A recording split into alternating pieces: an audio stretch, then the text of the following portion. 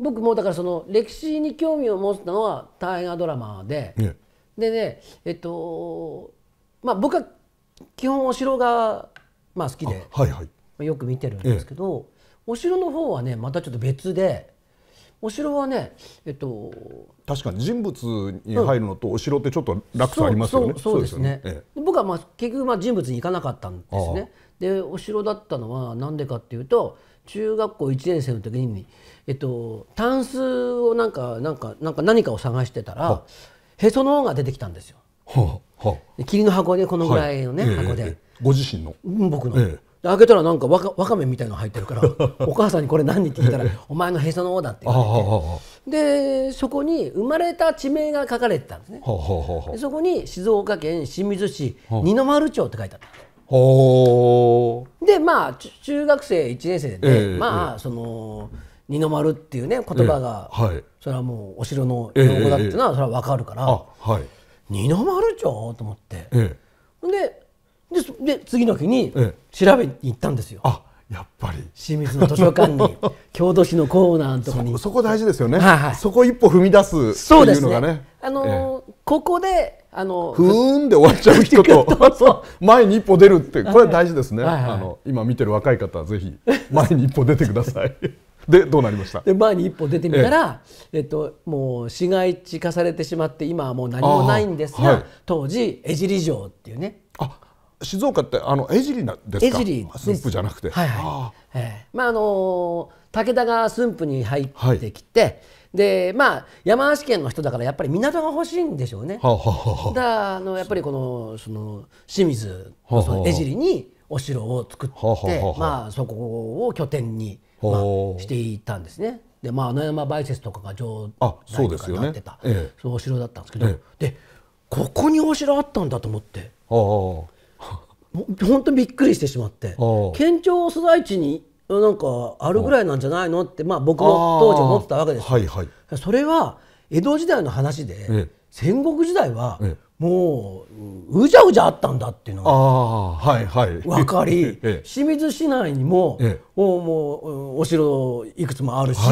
あそこはあの館が多かったんですよね駿河武士団のあはあはあはあ。の梶原景時とかをあああ討ち取った、うん。あの都に行こうとしたところを。はいはい。えそれで、あのーみんなでもって 梶原景時をやっつけて、え はい。それで清水の武士団の人がええ。みんな大出世してあ西国とかに行くわけですよ。だから毛利のところのキッカーとかそうか。キッカーはうーん駿河の。本願地は駿河ですか？駿河はい。駿河の国キッカーの将あのキッカーですからね。あなるほど。東海から聖戦したわけですね。はいはいはい。あだから館もうじゃうじゃあったっていうのが分かり。あ。えええ。でお城って今まで僕が思ってたものと違うぞと思ってえああそれからですねやっぱりお互い一歩踏み出すのは大事ですよね。はい本当そうねだって今でもお城っていうとそれこそ県庁所在地にあるお城のイメージしかない人ってあ結構はいますもんねそう。ですね、えー、3万から4万あったって言われますもんね。はいあのそういうものを合わせると、はいはい戦国時代は。大体3万から4万って言ってる時点でもう1万の差があるって これはそれすごいでしょうね そうなんですよ。まだよくわからない。今でも発見されてるんですよね。今でも発見されてますよね、ええいやそ今れ一般の方に言うと分かってもらえないんですけど、はい今でもお城が発見されてるってどういうことだよ。今 幅が1万あるって。そう確かにで中にこれは5万あるっていう人もいるからね、研究者の怠慢でも何でもないんですよね。はいそうそうあの本当にわからないんですよね。すごいことですよね。で今赤色立体図っていうねあはいはいレーザー照射でええ地表面が出てくるっていうのがあって、それ地滑りとかそういうのを調べるためにいろんな時代が航空写真みたいな感じええで、ええいろんな、まあ、山を写真撮ってるんですよ、え赤色立はい体図っていうのね、それまでだと航空写真なんですよね、で航空写真だと木がもさっと写っちゃうんで分かんないんです、ただの山なんですけど、はいはい。木を通してあのななんていうんでしょう赤く写るんですよね地肌が、でそうすると新しく見つかるって言うんですよね。であれ？これお城なんじゃないのっていうのが、えええうじゃうじゃあって。また上で5万5万いきますかね、もうだからもうどんどん増えていくんじゃないですか。ああすごいことですよね。古墳なんかも見つかってるんですよね。お城じゃないですけどね。ね。ええ。こんな山の中ないだろうと思ったらそういう、え赤色立体図で見つかったなんて話もあるんですもんね。僕も一個見つけてますからね。え何ですか？僕も見つけてるって。あ僕テレビ番組の。ああはい。テレビ番組でロケ地で使わせてもらった、その土地が実はお城だった。とこれ白っぽいぞと思って、えええでもう竹もうもううっそうと生えたところだったんですけど、そこをガリガリ切っていったら帯車が2本出てきてすごい。でそれ見まはした？そのテレビ。あ。の BS でしたっけ？の番組ですよね、でもともとお城の番組じゃないはずなんですよ。そうそうそうみんなみんなであれですよね。農業体験をする番組でしたよね。だったはずなのに、なんかその作った秘密基地の場所がこともあろうに城跡だったっていう。ことでね、えはい、だから本当に見つかってないようなお城。探せばまだ出てくるかもしれない。まだ出てくると思いますよ、だから、えー、と要は3万から4万だから、ええコンビニの数よりも多いってことなんですよね。あそっかそっか。いや今のコンビニってそそんな少ないんですか、そあお城より少ないんですか？コン少ないんですよ。ずいぶんコンビニあちこちにある印象東京に暮らしてるとありますけどね、ええ。コンビニまみれですけど、ええ。あれあれより多いんですか？もう多いっていう。すあそんなか。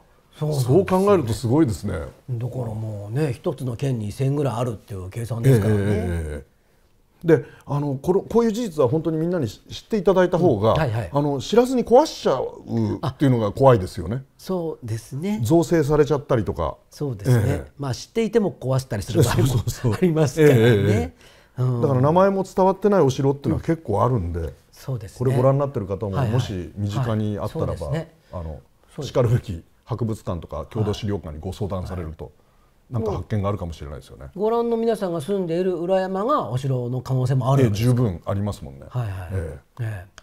学校とか多いですもんね。あそうそう。その後学校になったとか、ええええ。城山中学校とかね。ああそうそう。あと地名も残ってたりするんですよね。残ってますええ。そう。だけどやっぱり一般の方にはお城っていうと石垣で天守閣とか、有名な戦国武将っていうイメージがあるんで、それがないと、うん。なんか全然お城だと思われないっていうのは多々ありますよね。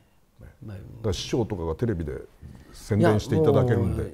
僕もそういう役目だと思ってるので一生懸命。貢献度は大きいと思いまあすよ。の。喋ってはいるんですけど、ええ。あの石垣とか天守がないと、え砦みたいなもんだろうとか言うんですよね。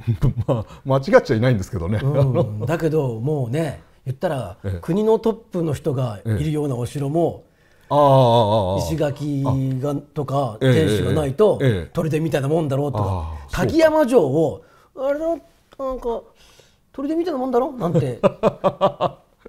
え誰が言ったんですかそれ？いやそうあの東京地地元の方が。地元の方。ああうん。なかなかまだこれからなんですよやんなきゃいけないこといっぱいありますね。本当に。そう。啓発活動をしないと。はいはいはいはい。お二人がお好きな一番お好きなお城を教えてくださいという質問が来ているんです一番困るんですよ、ね、なかなか難しい質問だと思うんですけどね。僕はお城を差別しないという立場で生きてるもんあですそうか。そうか。はい。それは言いにくいでしょうね。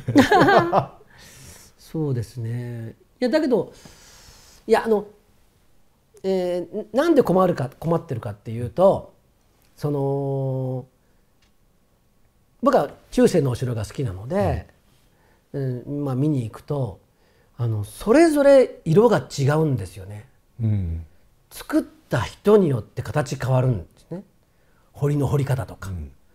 うんでその作っている土地の土の質によるわけですよね。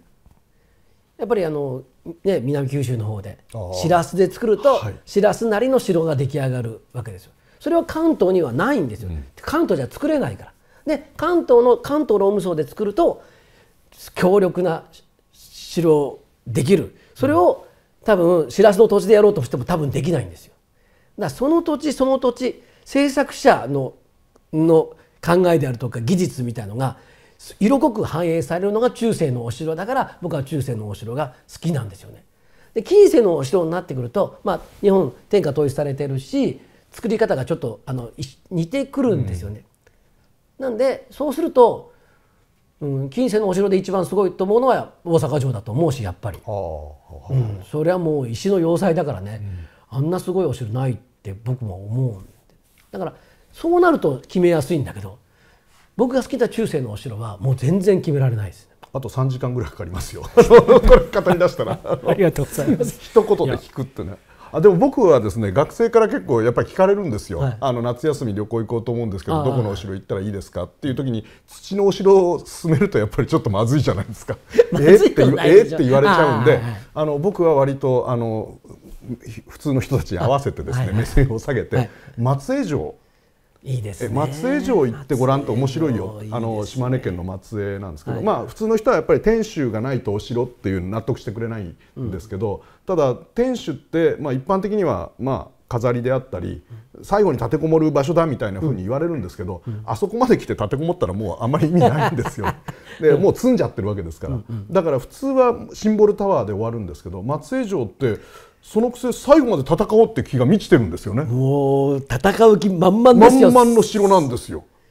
で外観も武骨な感じですしね、あの姫路城みたいな優美なのとは違って、一番すごいのはあのスライドドアがついてますよね。あの、は2階から3階かな、上がるところに。普通は扉なんか階段につけないんですけど、スライドドアでバンって蓋できるようにしてて、だから上がってこれないようにしようっていう。あそこまで戦おうとするってすごいですよね。で天守のところのににもう銃眼がはい。いっぱいついてて、ええええもうそこから鉄砲や何やらね撃てるようにしてやって、天守の中に井戸があるっていう。うん。これはもう最後までそこで。行って籠城できるっていうことですからね。ええ。だからいや一般の人に僕は分かりやすいのは松江城かな。み誰が見ても、おまあ、姫路城、まあ、また別の意味で誰が見てもすごいですけど、うんうん。こう戦うっていうことのリアリティみたいなのを考えるんだったら、松江城は面白いよっていうふうに進めてますね。だからみんな勘違いしてんですよ根本的な。奇襲と速度が全ての作戦だ中立でなければならないっていう建前になってると